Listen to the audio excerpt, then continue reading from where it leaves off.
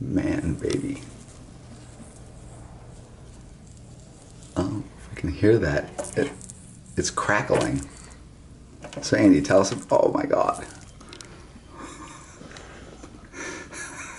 this is gnarly. So Andy, what is this? Uh, this is a Himalayana.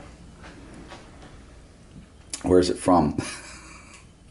I believe it's Asian, Okay. Wow. but I don't really know, so we may not put that part. That is one defensive little spider. It's very cool. Super aggro. It's very beautiful though. Like just like how sleek that is. Well, I just thought this was really interesting because Andy's playing with the spider. He's taking pictures of it.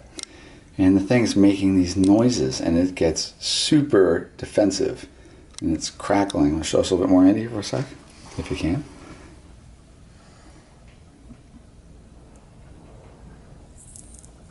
Wow.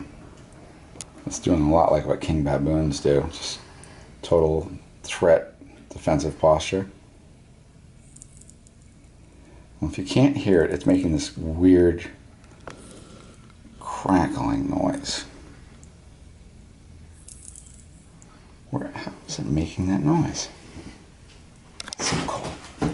All right, well, we're definitely enjoying our uh, arachnids at the moment.